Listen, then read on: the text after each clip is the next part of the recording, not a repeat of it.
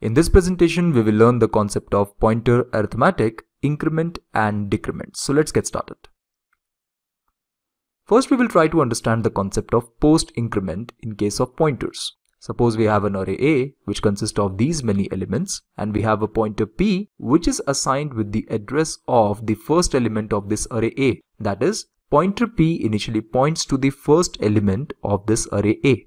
Now let me assume that the base address of this array A is 1000 or the address of the first element of this array is 1000. Therefore, this will get replaced by 1000 right? And here is the pictorial representation of a pointer p which contains the address 1000. Now with the help of this printf function, I want to print the value of star p plus plus. This is post increment, right? We know that if we increment the value of p by 1, pointer will simply move one position in forward direction. Now if we do p++, plus it has to move one position in forward direction. But post increment means first the value will be assigned and then it will get incremented. We can see here the pointer p contains 1000 address. Therefore, 1000 will first get assigned to this and then the increment will happen. Let me first dereference this. Star 1000 means we will get this value 5. Therefore, it will get replaced by 5, right?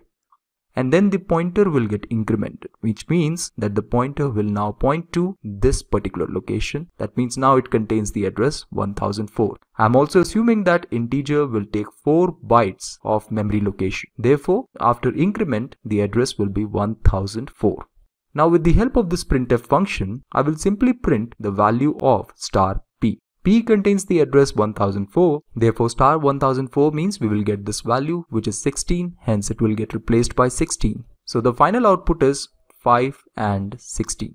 Okay. Now let's see what happens when we do a pre-increment. Let's say again we have this array A and pointer P is initially pointing to the first location of this array. Therefore, the pointer P initially contains the address 1000.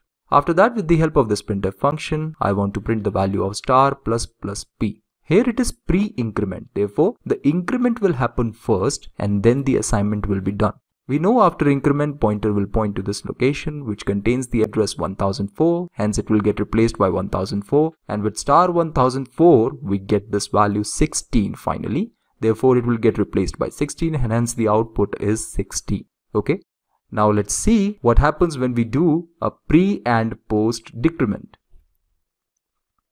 Again we have this array A and a pointer P, but in this case pointer P initially contains the address of A2 that means this element. So the pointer will simply point to this element.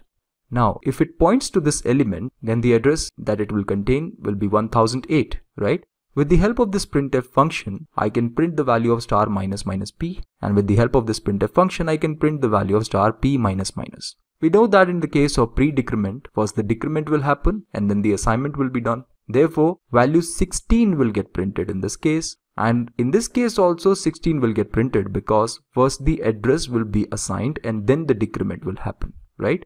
Therefore, in both these cases, 16 will get printed on the screen. Initially pointer is pointing to this location. After decrement, it will point to this location. Therefore, 16 will get replaced over here.